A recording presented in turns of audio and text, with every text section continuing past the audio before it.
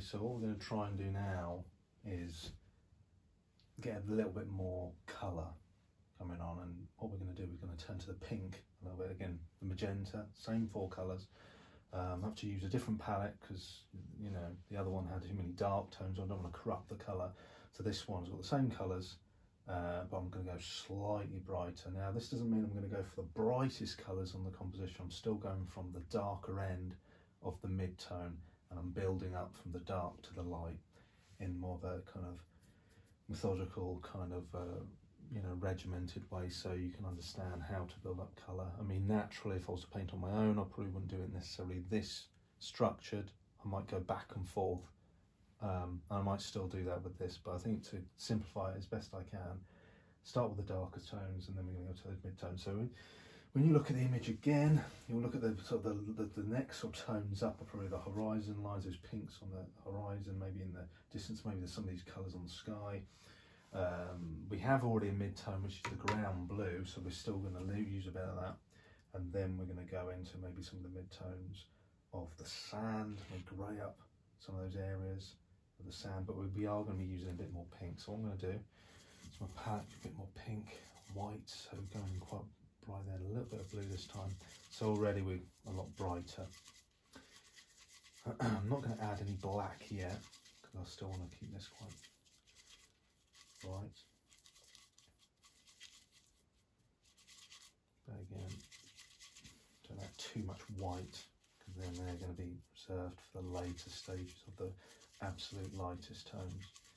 Um, but what I am going to do, because we're going to sort of slightly get away from the exact colours of the picture. We are going to be moving to more purpley colours, pinks.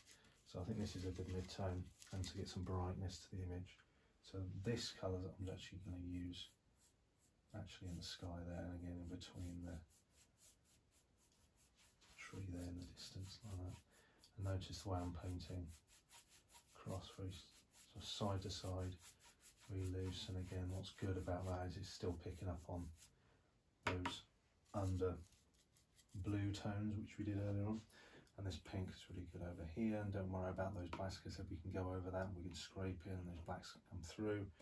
Um, so don't worry about the posts as well we're just going to redefine that later. This is just so you have an understanding of those mid-tones and then probably come up blue it out a bit more. So ever so slightly more purple. I've just come across the palette there to give you a little bit more of a diversity of colour range. And we're going to come up here maybe and create those lighter tones. So it's using in amongst that original blue. So it's working in collaboration with it. And again, if this was a um, monochrome painting, you probably won't go into the pinks and magenta will just stick to blue, black and white. That's a monochrome, which you're only using one colour. But because we're using two, possibly a third, if you want to do, that's analogous. That's what, but we're still down the one end of the colour wheel, so we're not going to detract anything. We're not going to add greens, we're not going to add reds, we're not going to add yellows to this. We're just going to keep So you notice I'm doing these mid-tones now, they're not too bright, but they are distinctly brighter to what we had before. And they're going to go in between clouds there.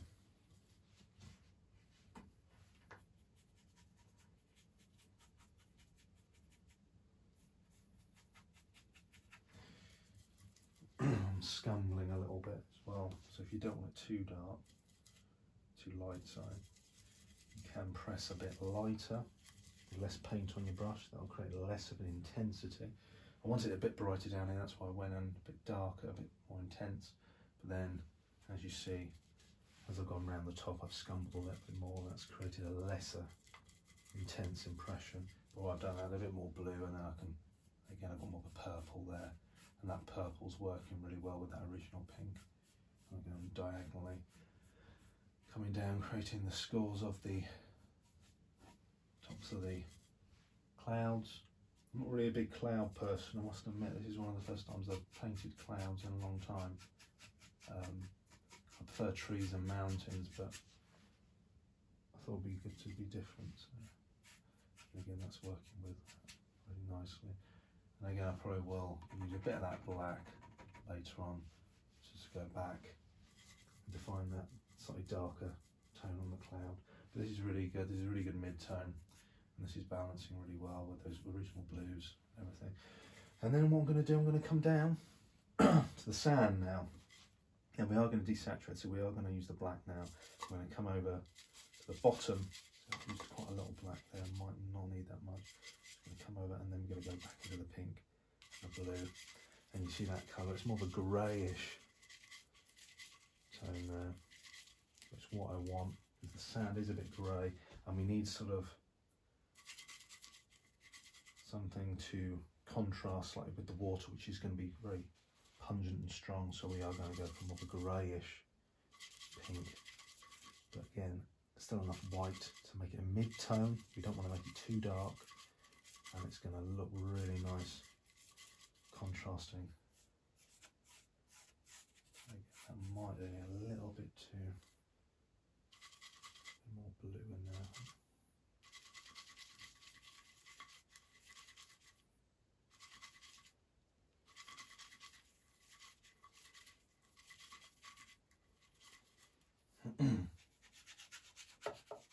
that's a good colour. So look at that.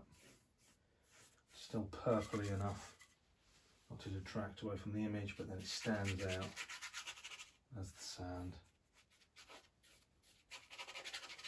maybe use a bit of this colour over here in the, in the sky. But what I did there, I just added a bit more pink and blue and I added a considerable amount of black and that's what's created that other shade of pink, that slightly duller shade. And notice when I'm painting, I'm not getting rid of that original blue, which is working as a great balance between everything. The ground is the balance and the key to holding everything together. A good mid-tone. Again, I'm not doing the lightest tones or the darkest tones on the sand. I might do those highlights later, but I've done the mid-tone, which is predominantly mid-tone on the sand. And what I'm going to do, is go with a slightly lighter tone for the water. A ripple water there.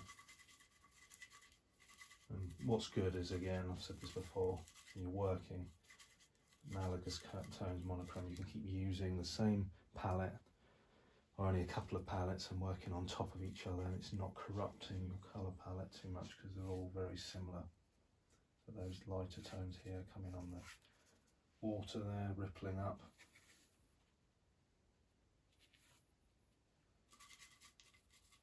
Some of those lighter tones over here.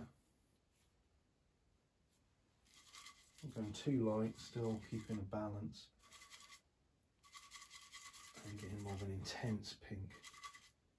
I think the most contrasted, uh, saturated tones on the whole composition are the water. Um, so I think going with this colour, it's a real strong magenta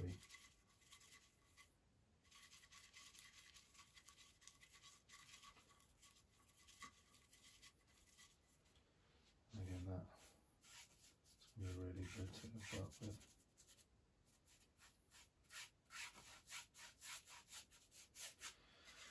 So we have officially left the, the colour palette of the original image, which is good because if you look at the original image, you've got lots of maybe subtle um, kind of phthalo blues and maybe some turquoises in there, and that's going to go off to a green. We don't want that, we're just going to keep simple